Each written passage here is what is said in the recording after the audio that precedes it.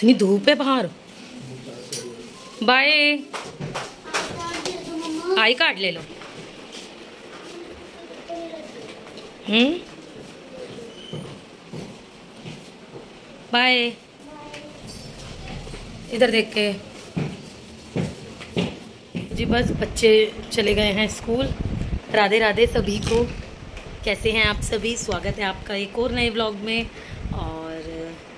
बस रात को ही मैं ये वाले जो जगह होती है ना, रात को ही क्लीन करके जाती हूँ, ताकि जब मुझे सुबह सफ़ाई करने में दिक्कत ना हो। ऑलमोस्ट मैं सोचती हूँ कि रात को ही थोड़ी सी जैसे बच्चे रात, आप इसका हाल देखा करो ड्राइंग रूम का रात को। इतना बुरा होता है ना मतलब बिल्कुल बिखरा हुआ होता है, सोफ़े के कपड़े जो होते हैं, वो बिखरे हुए होते हैं, टेबल पे बहुत सारा सामान पड़ा हुआ होता है। और कहीं ना कहीं सामान पड़ा हुआ होता है। रियांश तो जहाँ उठाता है, खिलौने वहीं छोड़ देता है। बच्चे जहाँ पढ़ते हैं बुक्स वहीं छोड़ देते हैं। थोड़ी सी होता है। मैं बच्चों को बोलती हूँ, फिर भी अभी करते तो नहीं है। कभी कभी कर भी देते हैं, जब मुझे गुस्सा आ जाता है ना। ये देखो, ये बुक्स भी यहीं पड़ी है।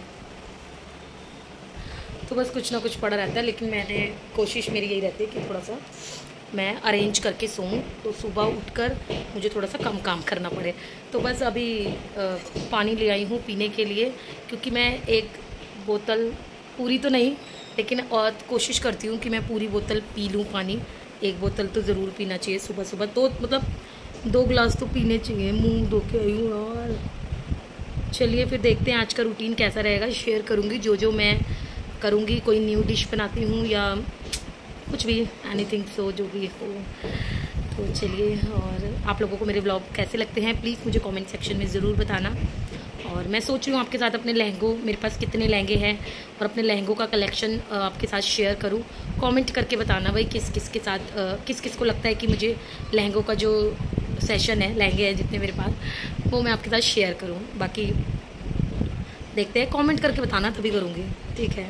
कमेंट ज़रूर करना, फिर मैं आपके साथ ज़रूर शेयर करूँगी। घर की साफ़ सफ़ाई वगैरह करके और वीडियो की एडिटिंग वगैरह करके मैं आ गई हूँ किचन में। और सबसे पहले ना मैं अपने बालों को ना जब घर में और रिलैक्स बैठी हूँ तो तब तो मैं खोल लेती हूँ, थोड़ी ढीले कर लेती हूँ। लेकिन जैसे ही किचन में आती हूँ ना, भाई मेरे को ना बहुत गर्मी लगती है खाना बनाते हुए।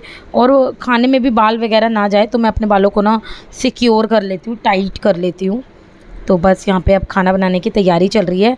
मेरे पास ना सब्ज़ियाँ रखी हैं तो मैंने सोचा, चलो आज चावल ट्राई करते हैं और ये वाले चावल ना आप एनी टाइम कभी भी बना सकते हो। वेजिटेबल पुलाव वेजिटेबल में तो मैंने ऐसा कुछ डाला नहीं था। आपके पास हो तो आप बहुत सारी वेजिटेबल्स भी डाल सकते हो। तो सबसे पहले हींग, जीरा डाला, प्याज डाली। प्याज थोड़ी सी भुनी थी ना तो प्रॉपर नहीं भुननी, थोड़ी सी ही भुनी थी तो मैंने ये सोयाबीन और आलू डाल दिए थे और काफ़ी देर तक इनको भूना था। इनको भूनते हैं ना, इनका टेस्ट काफ़ी अच्छा होता है। फिर मैंने सारे बेसिक मसाले डाल दिए थे जब भुन गई थी। जैसे कि नमक, मिर्च, हल्दी, धनिया पाउडर और डाल दिया था थोड़ा सा गरम मसाला स्पाइसीज़ के लिए। और चावल मैंने पहले ही भिगो के रख दिए थे, जब मैंने सफ़ाई कर दी थी। तो चावल अच्छे से भीग जाए ना तो आप मेरे तो दो गिलास पानी डलता है जब चावल नहीं भिगोती हूँ। और जब चावल भिगोती हूँ तो दो गिलास से कम। और मेरे को ना थोड़े से लिपटवा चावल अच्छे लगते हैं मतलब ज़्यादा सूखे सूखे भी नहीं अच्छे लगते। और ना मतलब कुकर खोलते रिएक्शन इतना अच्छा था ना, मैंने सोचा चलो आपके साथ शेयर करती हूँ, क्योंकि चावल लगी इतने टेस्टी रहते देखने में। और हरी धनिया की चटनी के साथ तो ये बहुत ही टेस्टी लगते हैं। बट धनिया बहुत महँगा हो रहा है तो मैंने अभी नहीं बनाई थी। और धनिया था भी नहीं, वैसे लाने वाला कोई नहीं था, नहीं तो लाने वाला होता तो मैं बना भी लेती। तो बस यहाँ पे टेस्टी सोयाबीन वाले, आलू सोयाबीन वाले नमक मिर्च वाले चावल। हम तो इनको यही कहते हैं आप लोग बताना।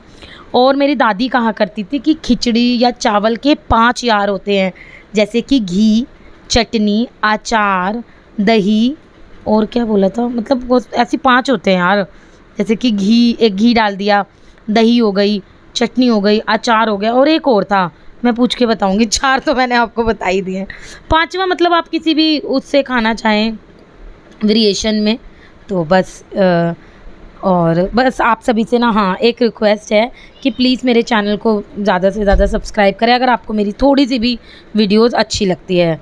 तो बस यहाँ पे खाना दे रही थी मैं सभी को। और ये चावल ना बहुत जल्दी बन जाते हैं और झटपट वाला दोपहर का ना लंच है, क्योंकि कई बार ना मन नहीं करता बनाने का। फिर रियांश ने ना मुझे ही बोला कि, मम्मी, आज मैं भी रोटी नहीं खाऊँगा, आप मेरे लिए भी यही वाले चावल दे दो, क्योंकि वो दही से चावल खा लेता है।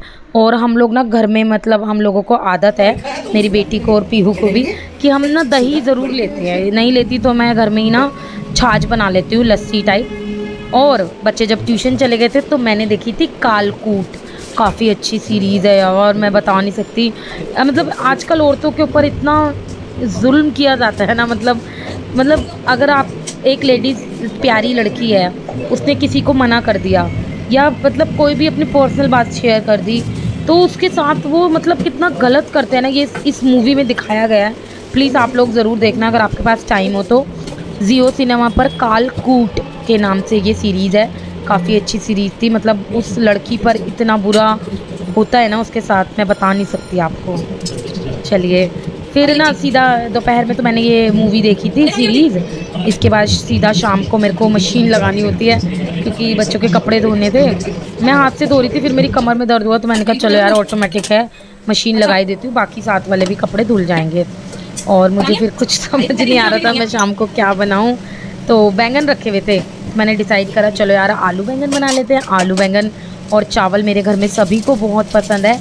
तो बस मैं उसी की तैयारी कर रही थी और साथ साथ यहाँ पे मशीन लगा दी थी शाम के टाइम में और अब यहाँ पे बन जाएँगे आ, आलू बैंगन चावल।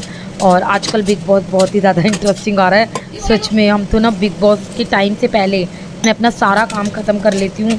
अभी ये मैं जल्दी जल्दी इसीलिए लगी हुई हूँ कि बिग बॉस आएगा तो मैं सारे काम ख़त्म कर दूँ। खाना मैं ऑलमोस्ट बना के रख देती हूँ। और यहाँ पे मैं शाम को खाना क्या बना रही थी? पीयू को भूख ही लग गई। और सुबह मैंने बच्चों को लंच में स्कूल लंच ब्रेक में सैंडविच दिया था ना तो वही वाला सैंडविच पीयू ने बोला मम्मी अगर रखा है ना तो प्लीज़ मुझे बना के दे दो। तो एक दो ब्रेड पड़े हुए थे मोटे वाले। मैंने कहा यार ये ब्रेड भी ख़त्म हो जाएँगे। तो बस वो पीहू को बना के दे दिया था। मेरी पीहू को ना सच में थोड़ी थोड़ी देर में भूख लगती रहती है। तो बस उसी के लिए और वैसे भी ये ग्रो ग्रो एज होती है मतलब यहीं पे ना आपका बच्चा ग्रो करता है। अगर अब मेरी थोड़ी पीहू हेल्दी भी हो रही है, लेकिन मुझे ऐसा लगता है कि वो इस टाइम पे नहीं खाएगी तो उसकी जो शरीर है ना, वो बढ़ेगा नहीं। जो ग्रो मांग रहा है ना, वो नहीं बढ़ेगा। बाकी मैं उसको लिमिटेड बोलती हूँ कि पीहू इतना वो नहीं करना चाहिए। बाकी ठीक है, बच्चे अपनी हेल्थ के अकॉर्डिंग खाते हैं, जैसी उनकी होती है हैबिट और हेल्थ और मेरा बेटा है वो कुछ भी नहीं खाता है उसे ज़बरदस्ती खिलाना पड़ता है। तो हर बच्चे की अपनी एक वो होती है कैपेसिटी खाने की। चलिए कितना बोलती हूँ ना मैं चलिए। यहाँ पे प्लेटिंग मैंने कर ली थी आलू बैंगन चावल रोटी और सैलेड बहुत ही ज़्यादा टेस्टी बना था। थोड़ा ना मैं तरी वाला बनाती हूँ क्योंकि चावल फिर खाए नहीं जाएँगे रुके रुके लगेंगे। और अब मैं बिग बॉस देख रही हूँ। पूजा और अभिषेक में से किसकी बास्केट में ज़्यादा फ्रूट्स हैं? बिग बॉस अभिषेक की बास्केट में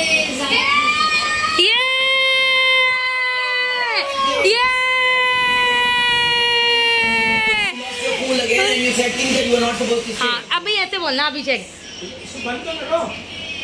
आप बोलो। नहीं इसके साथ ही। Abhishek Abhishek Abhishek Abhishek Abhishek. Very badly played और शो के पहले फाइनलिस्ट ठीक है बोलो भाई बोलो क्या क्या कहना चाहते हो सब लोग?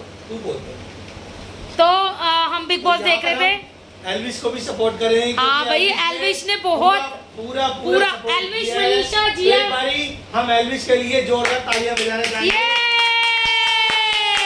भाई सिस्टम है सिस्टम सिस्टम सिस्टम चल रहा है सिस्टम पूजा चिढ़ गई पूजा चिढ़ गई पूजा चिढ़ गई अभिषेक जीत गया तो देखा आपने हमारा जोश।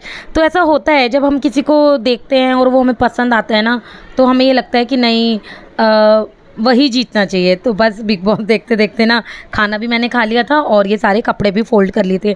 मैं ना ऐसे ही करती हूँ, जब मेरा कोई काम होता है ना, कपड़े मैंने यहीं पे ला के रख दिए थे, इसलिए ला के रखे थे, ताकि मैं बिग बॉस भी देखती रहूँ और काम भी करती रहूँ, क्योंकि देखो, दो घंटे का आता है, फिर मेरे को काम भी करना होता है। इसी बीच में मैंने कपड़े भी धोए, खाना बनाया मतलब खाना तो मैंने पहले बना लिया था, लेकिन किचन क्लीन करी, पूरी किचन को साफ़ करा तो बस, ये था। आप लोग मुझे कमेंट करके बताना कौन कौन बिग बॉस देखता है या नहीं देखता है, वो भी ज़रूर बताना। यहाँ पे बस सारे कपड़े मैं अरेंज करके लगा रही थी। इसके बाद मैंने दोनों बच्चों को सुला दिया था एंड इसके बाद पीयू के पापा ने बोला मुझे दूध गर्म करके दे दो। और मैं जा रहा हूँ छत पे क्योंकि छत पे बहुत अच्छी हवा चल रही थी और मैं आपको छत का व्यू भी दिखाऊँगी और व्लॉग मैं इसके बाद ख़त्म कर दूँगी। तो मैं ऊपर आई थी और यहाँ पे भैया पौधों में पानी डाल रहे हैं। तो देखा तो दो हरी मिर्ची आई हुई है हमारे पौधे में।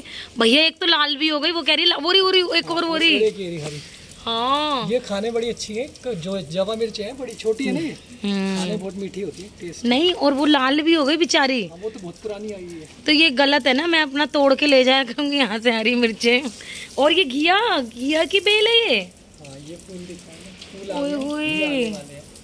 फूल हैं। आ गए अब घिया आएँगे इसमें। घर के घिया बनाएँगे भैया हम।